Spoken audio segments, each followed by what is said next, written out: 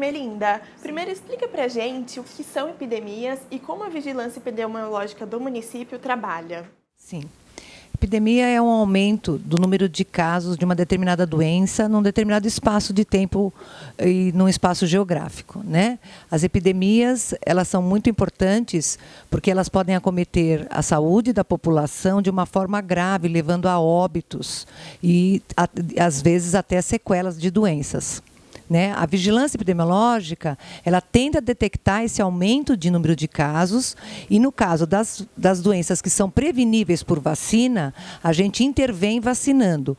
Né, para a gente evitar que outros casos aconteçam. Então, a vigilância tem esse, essa capacidade, de, através das notificações compulsórias, captar esse aumento de casos e propiciar ações de controle, como no caso as vacinações. E como uma fake news pode atrapalhar essa questão da vigilância das epidemias, né, com a falta, seja ela na, com a falta de vacinação ou com outros episódios que acontecem no município? As notícias falsas, elas geram muitos problemas, né? Uh, hoje a gente sofre com as notícias falsas com relação à vacinação. Uh, elas dificultam o nosso acesso a essa população, vulnerabiliza a população. As vacinas protegem inúmeras doenças. O Brasil conseguiu uh, receber o certificado de eliminação da circulação do vírus selvagem, tanto da poliomielite quanto do sarampo, através das campanhas de vacinação, grandes campanhas de vacinação que foram desencadeadas nas últimas duas décadas, assim como da vacinação de rotina.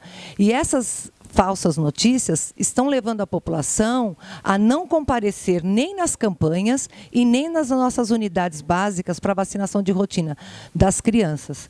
Isso é um sério risco, porque se a gente não tiver altas coberturas vacinais, a doença pode ser reintroduzida, que é o caso mais recente que nós temos dos venezuelanos que chegaram ao nosso país com, uh, com, a doença, né, com o sarampo, e nós estamos tendo muitos casos, tanto no Amazonas quanto em Roraima.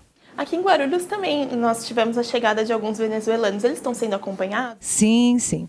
Uh, a gente recebe o, o, aviso de que eles estão chegando, né? E a gente acompanha eles. As nossas equipes vão ao encontro deles. Nós já fizemos vacinação, inclusive, de, de uma população que chegou para nós. E eles são acompanhados não só na questão da vacinação, mas em outras doenças que eventualmente eles possam uh, estar portando. No caso, até tuberculose já foi identificado em alguns venezuelanos que chegaram, né? Então a gente faz a vacinação, sim, desse, dessa, desses migrantes, né? Que estão chegando chegando para a gente desses venezuelanos ou outros uh, de outros países também. A gente recebe essa notícia e faz a vacinação sim. Legal. É, aqui em Guarulhos, é, nós tivemos agora a campanha da vacinação do sarampo e da poliomielite, assim como em todo o Brasil, né? É, as fake news têm atrapalhado esse tipo de campanha de vacinação? Guarulhos, historicamente, tinham altas coberturas vacinais. E nos últimos anos, a gente tem sofrido uh, e não temos conseguido alcançar as coberturas vacinais recomendadas, que é no mínimo 95% da população né, da campanha. Isso pode gerar um acúmulo de, de crianças susceptíveis, ou seja, crianças que não estão protegidas contra essas doenças. Né? As crianças não estando protegidas, elas podem, tendo contato com uma outra criança doença, adquirir uma criança do, fica doente, pode passar para outra não vacinada, e aí você pode ter um surto e determinado aumento explosivo de casos, uma epidemia. Né? Uh, a gente tem trabalhado maciçamente divulgando as campanhas, abrindo as unidades né, aos sábados, né, que a gente está abrindo as unidades para poder aumentar o acesso da população uh, que trabalha, né, às vezes as mães trabalham e não podem levar durante a semana.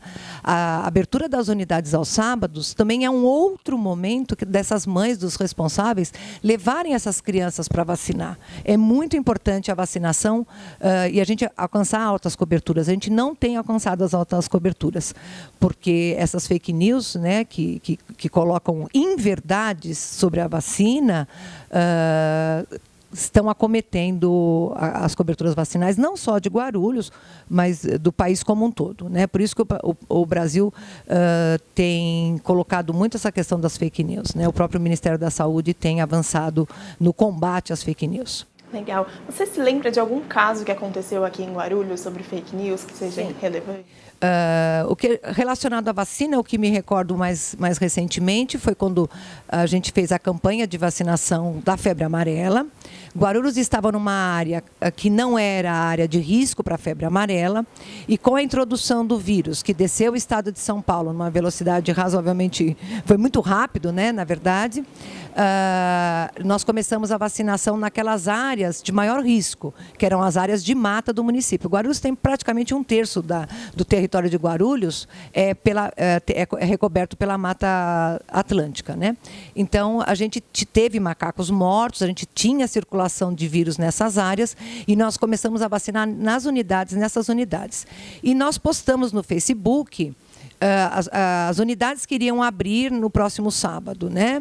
Só que esse cartaz não tinha data. Esse cartaz foi, foi, foi copiado do, né, do, do Facebook e foi colocado numa outra postagem com uma data errônea, levando a população a pensar que, que aquelas unidades iriam abrir num outro sábado, que não era verdade. Aquela unidade já, aquela relação de unidades já, já, já abriram no sábado anterior, por exemplo, né? Então a população ficava desorientada, né? Não sabia quais unidades estariam estariam abertas num determinado sábado. Né?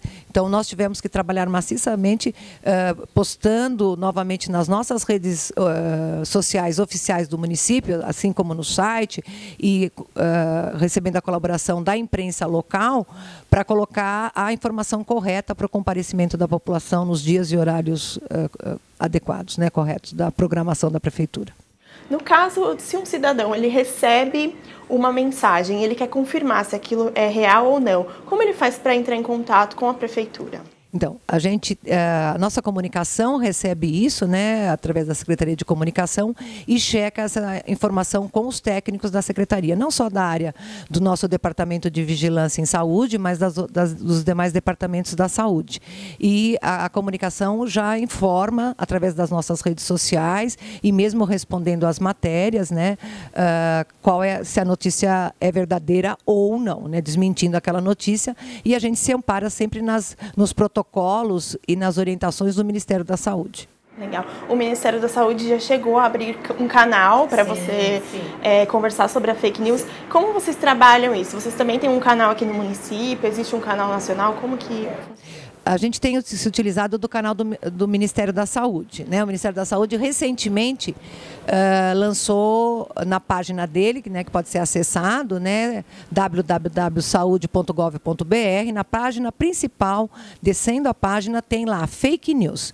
Clicando, tem o WhatsApp do Ministério, que é o 61 99289 4640 é um WhatsApp disponível para o país inteiro que você pode lançar, né? Você pergunta, você coloca, você pergunta para o Ministério, isso aqui é verdade ou não? E ele vai responder para todo mundo, isso é uma notícia falsa, isso é uma ou é verdadeira, né?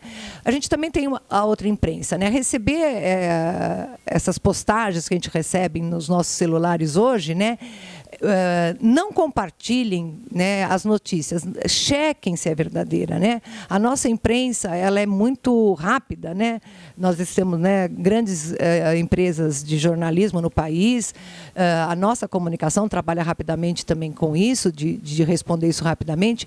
Não compartilhem uma notícia falsa.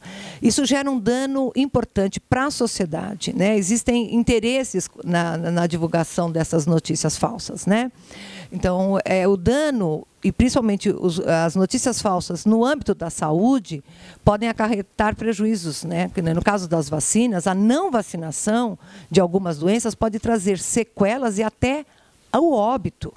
Quem, como eu, já trabalha há mais de 30 anos na saúde, que viu as epidemias de sarampo que nós tivemos na década de 80 e de 90 e os óbitos de crianças em decorrência do sarampo, sabe que o prejuízo que é uma notícia falsa com relação à vacinação.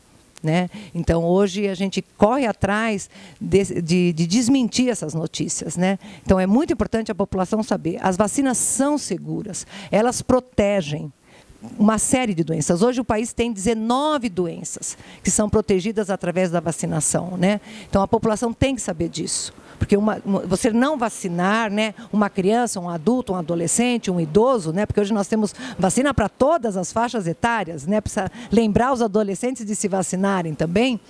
Uh, você não vacinar, você corre o risco, às vezes, de ter até um desfecho desfavorável, como óbito. Né? Então, Ermelinda, muito obrigada Imagina, pela sua participação. Eu agradeço poder estar conversando com todos vocês, levar informação. Lembre-se, a vacina é segura, levem os seus filhos para vacinar. Né? É muito importante é, a vacinação das crianças. Nós conversamos com a Ermelinda Antônia Tomé, responsável pela vigilância epidemiológica aqui do município de Guarulhos, e nós nos vemos na próxima entrevista.